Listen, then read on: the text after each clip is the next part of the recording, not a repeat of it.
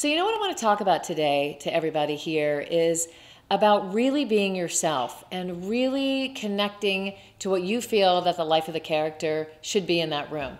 But here's a lot of issues that a lot of actors have.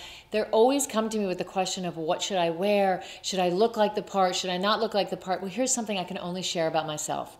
When I was an actress in the old days, I found that for me, because I'm a funky personality, I had to wear these funky boots that I found at the um, Army surplus store. So I would wear these Army boots, and they literally cost $18. And I would get so many compliments because I would walk into a room and the producers or the casting directors would be like, Where did you get those cool boots?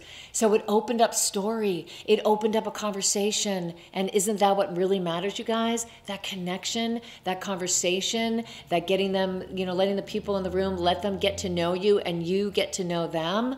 That's where the magic happens. My army boots got me a lot of jobs what's going to get you a lot of jobs? Think about it. So I would wear these boots, and the minute I put these boots on, it made my, my personality feel like I had so much pizzazz, like I was really me, like I felt funky and fun and layered and open.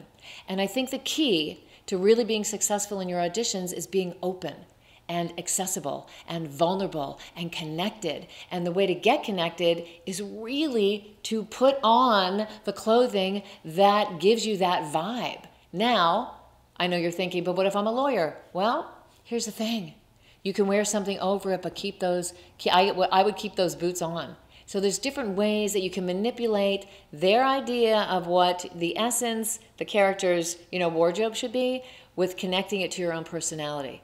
And it's so important to honor that because you want to feel free.